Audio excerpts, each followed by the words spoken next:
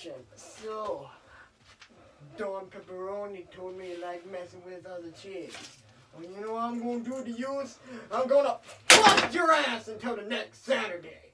And oh, oh, that felt good. Well, I got baloney. Well, let's, oh, there's a flap. And the mafia told me that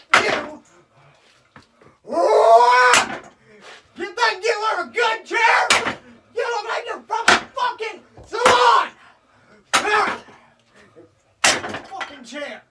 Get the. Now. Oh, you're chair. Holy shit. You are nothing but a pathetic excuse for a